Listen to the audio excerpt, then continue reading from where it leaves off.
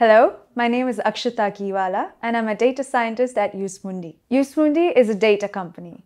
We collect data from all over the world, we structure it, and then it's qualified by lawyers. My role in the company is to apply natural language processing to understand and extract information from these legal texts.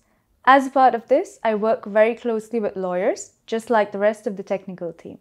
I think what drives my passion is that our work actually makes a difference to the world. We believe that we make international legal research a lot easier and thereby strengthening its effectivity, which is the biggest motivation. What I like most about Jus Mundi is the team. It is so diverse and there is a real team spirit and you feel the alignment and empathy towards things because you share the same values and it's like a little family.